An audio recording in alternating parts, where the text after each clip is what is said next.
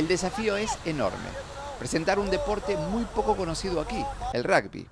En el país donde el fútbol es casi una religión, no es fácil convencer a los niños de las favelas, las zonas más pobres de esta ciudad, de que se unan para practicar una actividad física históricamente vinculada con los altos niveles sociales.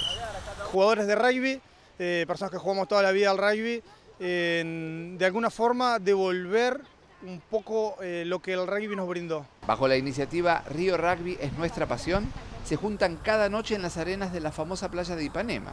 Lo que más me gusta es atacar y pasar la pelota. Este proyecto privado está necesitando de apoyo financiero, por lo que buscan auspiciantes para que pueda seguir funcionando.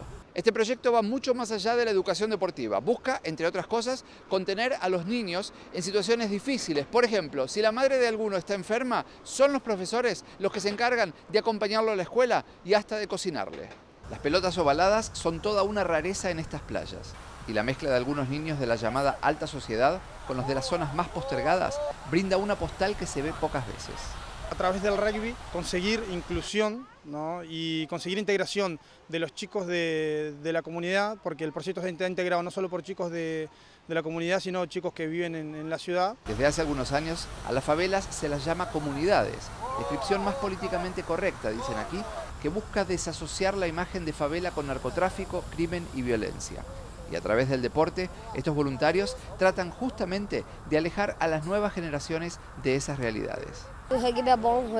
Me gusta mucho porque el rugby me hace sentir bien, me regala amigos, hace que alguien se preocupe por mí, me enseña a hacer actividad física, pero lo principal es la amistad, destaca Lucas, quien vive en una comunidad. Una tarea loable de los organizadores que merece ser apoyada. No cuentan con las luces de los grandes eventos olímpicos, pero sin dudas merecen más que una medalla. En Río de Janeiro, Pablo Monsalvo, Univisión.